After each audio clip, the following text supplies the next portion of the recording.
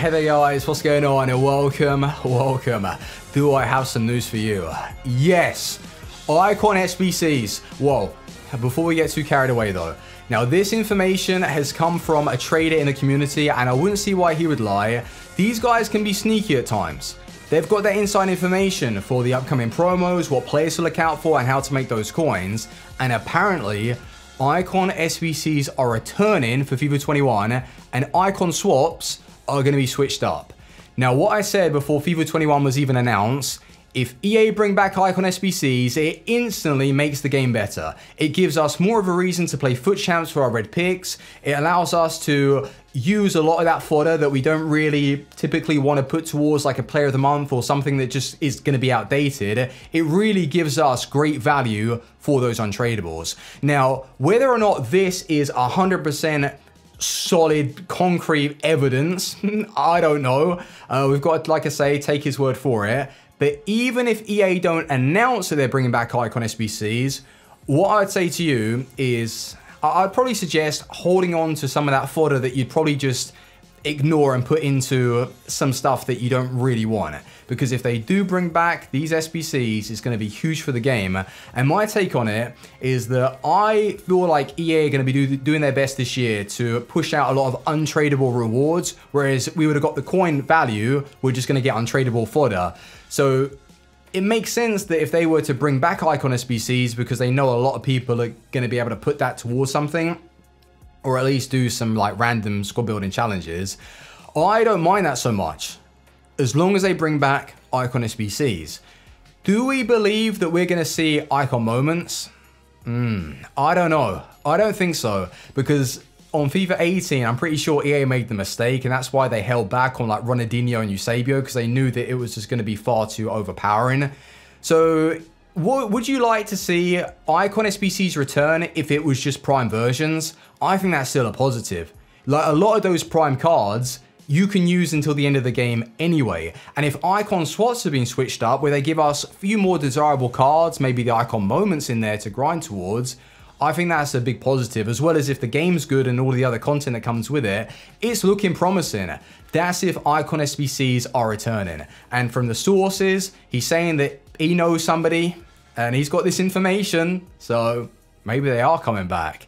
That'd be sick. But anyway, we've got nine days until the full version of a game. I know you only get 10 hours, but it's still a, a, a full copy, and we are yet to see a demo for FIFA 21 and we haven't even seen the database yet. Feels bad, right? So we're waiting around for EA to do that and drop it. But what I wanted to do today as well is go through some of the new icons that have been added with the stats because I never gave you my opinions on them.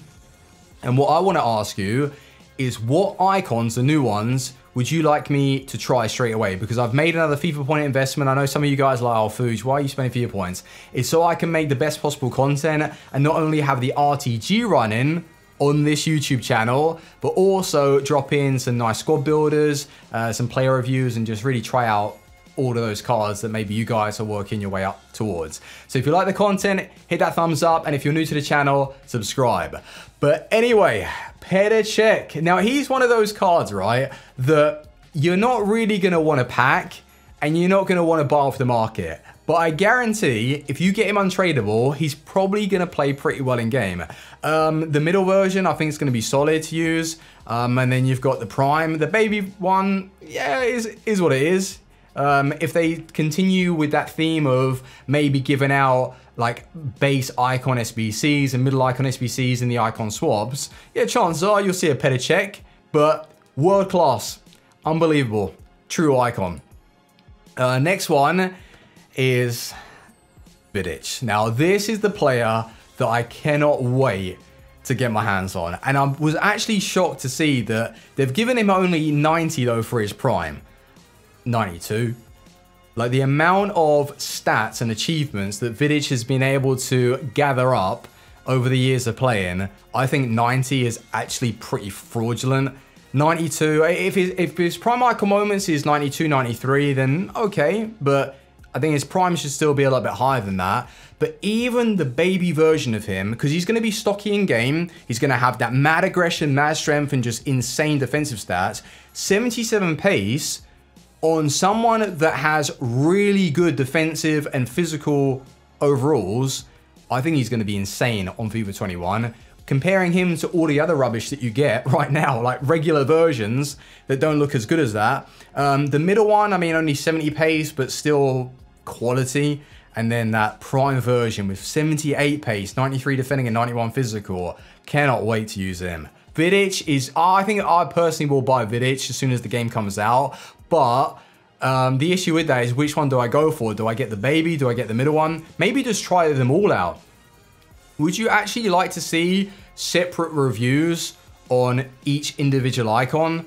Um, maybe that'd be quite cool. Or do you know what would be like really in depth is if I were to get like three versions of an icon and put them all in the same video and then compare them. That'd be a lot of games being played. Maybe you guys wouldn't like to see that. I don't know. Uh, Ashley Cole, I think this is another one, right? Ashley Cole should have been given some better stats than what he's received and only 89 mm, I think he deserves a little bit more but maybe I'm being biased um, you looking at his looking at his stats I've got to say on his baby version would I want to use that? I think so. I think that's a really good option, in fact. Because chances are you'll be able to get him from those icon SBCs or base icon SBCs. Uh, EA will be dishing out a lot of those 85s.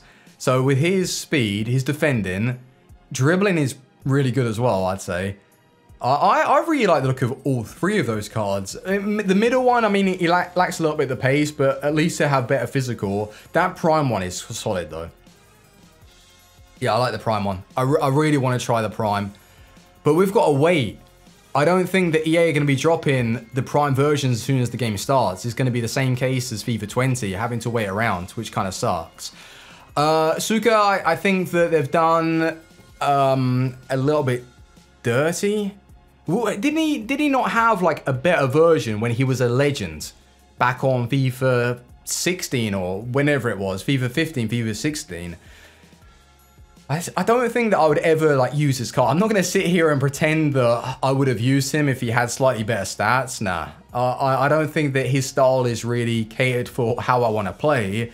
But with the extra positioning, the finishing, um, his speed, I don't even think is that bad. I think that's, I think that's a good speed stat to have. Comparing him to like Sancho that they've given like 82 or 83 and, and Gnabry and players like that. So he might feel rapid in game. But I, I don't think I'm going to rush out and, and, go and buy him. Schweinsteiger, uh, that left mid version is just... You know what, right? That left mid version might be great value for coins, because obviously he's been set on the wing and no one wants to use that. But to, to quite easily position him back into the midfield, you've got really good pace, you've got fantastic dribbling, shooting, you've got everything, and, and actually okay defending. I think that card there is going to be used quite a bit. And then his middle version, I don't know anyone in their right mind that would want to really go near that when he's got 68 pace, but then that 85 defending, actually 68 pace. Like Fabinho's only got like 65-ish. So maybe 68 or in about 70 isn't as unplayable as we're probably expecting. And, and if that is the case, then that card there looks scary. And then his prime, more pace, more, oh no, that's a naughty card. 86 minimum in, in all stats apart from pace. That Schweinsteiger looks disgusting. looks, looks lethal, dangerous. Schweinsteiger linking up? Yes, please.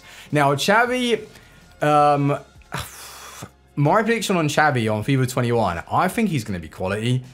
And that baby version with 81 pace, like I just mentioned, it's quite hard to come by. Those cards in the midfield that provide that, that have good quality stats. And his dribbling, passing, pace is all going to be suited for FIFA 21. Now, the defending, mm, yeah, he'd be able to chip in with some tackles. Sorry about that, my phone. Um, he'd be able to chip in with a few tackles. His middle version looks um yeah his middle version looks quality. I got nothing bad to say about it but his prime that's the one that i want. You've got everything. And that 95 passing stat i don't think he's going to really be good enough to be played as a cam but as a center mid or as a cdm see this is the problem. It depends how meta the game is and how demanding your players need to be uh, if uh, you are running that 4-2-3-1 and that's what scares me. But when Xavi receives the prime icon moments, they might upgrade his defending to like 82 or something, or, or yeah, something really ridiculous. And his passing 99, 98.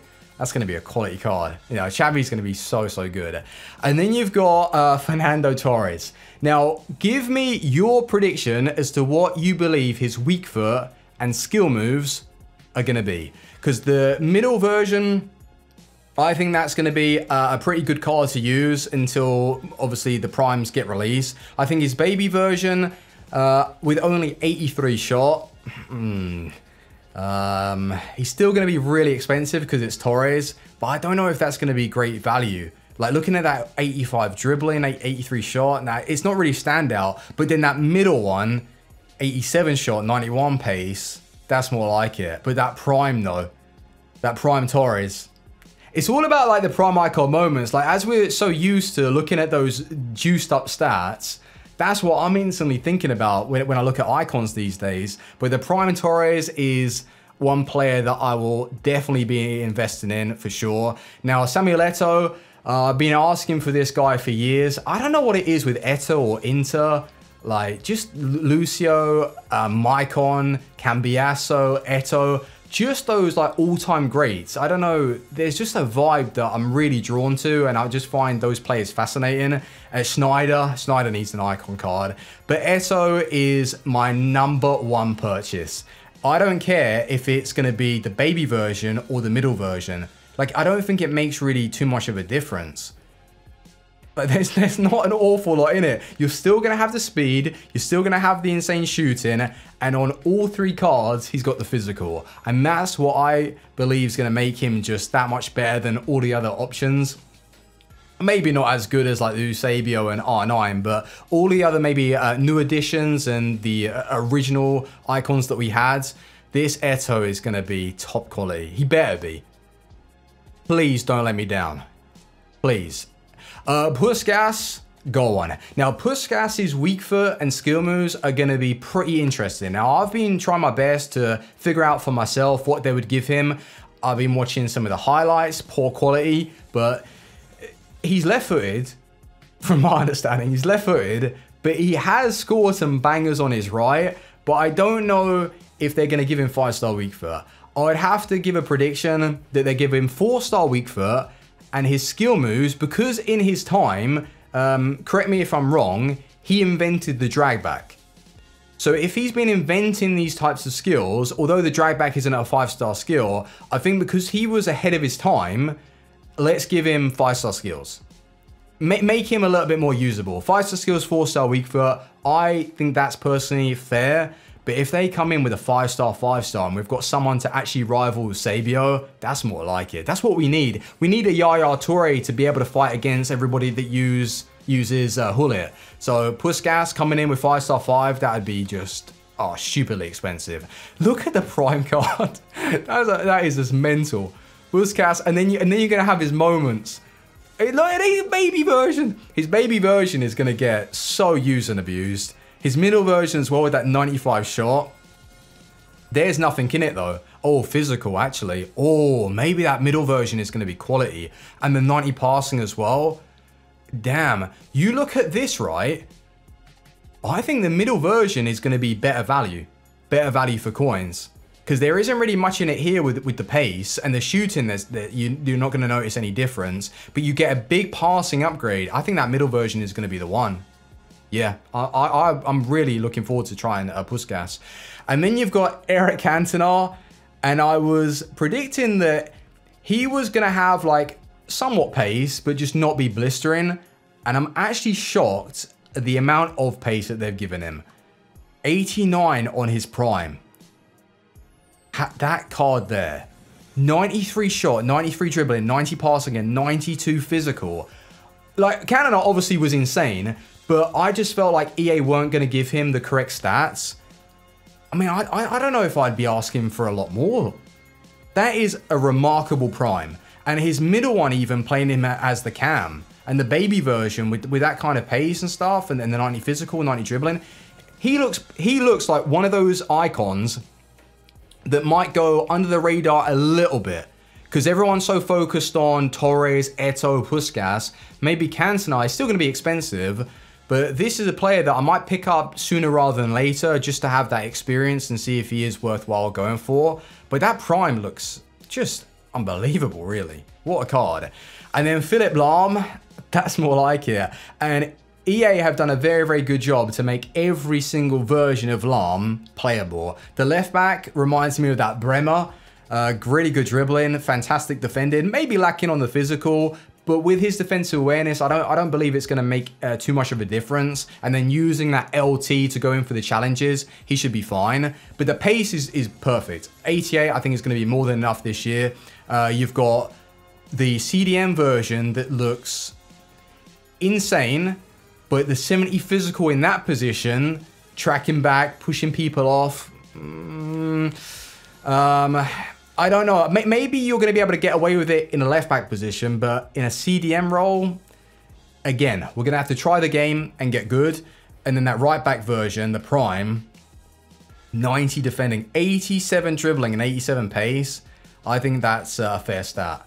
Uh, I thought that they were going to give him like something like 85, 86 on his prime. So 87, phenomenal. Well done, EA. And that's the end. Are those the, all of the icons that EA have added? Yeah, I think so. But boys, I am so excited just to open some packs, get my hands on all the all these icons uh, to try out for you. Start the RTG. Nine days. And also, if it's true that icons are coming back, happy days. But thank you for watching. Leave a like, and I will see you on the next one. Team out. Peace.